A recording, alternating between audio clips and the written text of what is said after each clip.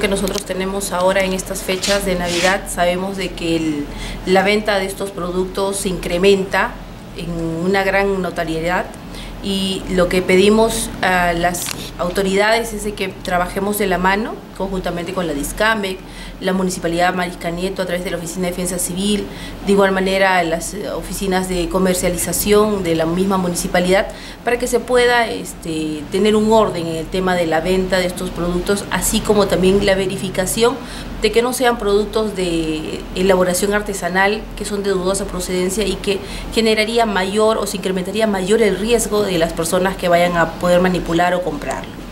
Claro, ¿hay alguna campaña que tengan ustedes pensado realizar por parte de la compañía de bomberos? Sí, en algunas oportunidades ya hemos trabajado con la Discamec, que nos han brindado este material de difusión como dípticos, trípticos y que eh, semanas previas a la Navidad hemos podido también conjuntamente con las eh, organizaciones como la municipalidad poder ir haciendo difusión y entregando a los puestos o comerciantes que son los que normalmente venden este producto.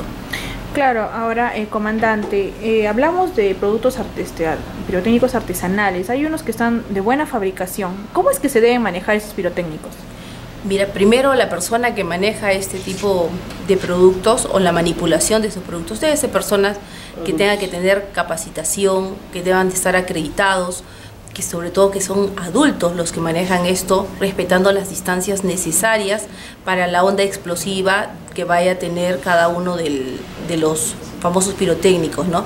Desde las que nosotros conocemos chispitas o hasta los rascapiés que utilizamos, tienen que tener también un uso adecuado y una protección para que podamos nosotros trabajarlos, ¿no? Normalmente los niños están en casa y utilizan, están en, sandalias o a veces hasta en medias y están rascando, poniendo los rascapiés en el, en el suelo y no nos damos cuenta como padres de familia que se puede generar no solamente una quemadura en, en el pie del niño, sino también un, un daño lateral más adelante, ¿no?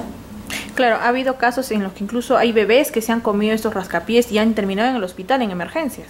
No nos olvidamos que son productos pues de, alto grado de contaminación, ¿no? Entonces tenemos que tener mucho cuidado, les decía, incluso las chispitas, ¿no? que nos parecen inofensivas, pero que en realidad si las acercamos mucho al, al, rostro, a la cara, al cabello, puede prenderse. Todo lo que genera y que pueda este, encenderse, nosotros podemos, hasta nosotros mismos somos insumos o somos materiales que nos podemos encender a cierto grado de ignición.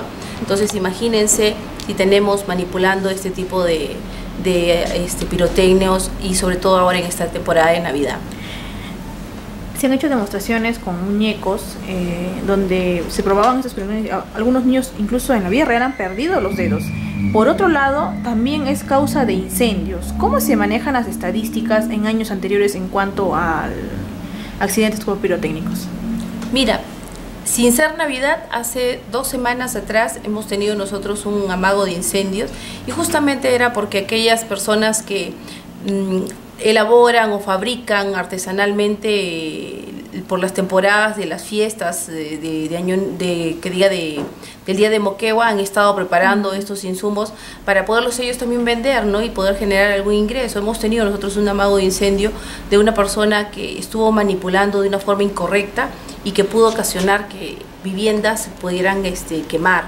Entonces, el índice, imagínate, si sin ser las fiestas de Navidad ya hemos tenido ya registrados dos incendios de este tipo de magnitud, con mayor razón es ahora, ya que la mayoría, la mala eh, manipulación, el mal almacenamiento y sobre todo el no tener, con, no, no tener un lugar que cumpla con los estándares necesarios para su fabricación, eleva mayormente el número de incidencias de este tipo de incendios. Es el mes de diciembre, el mes